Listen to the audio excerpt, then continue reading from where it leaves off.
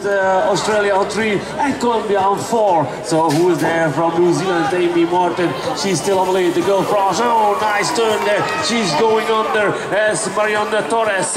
She's now on the lead. No, no, it's uh, a close race there. Ja, ja, finish. And Australia two.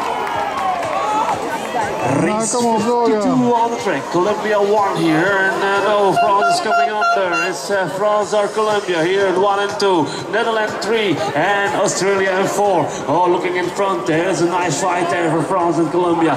France there in first position is Lucy Lacoste. Lacoste now still racing on the first position. Fourth lead lady from Colombia is Mazzo, Manuela Mazzo. Then Australia three, and Netherlands four.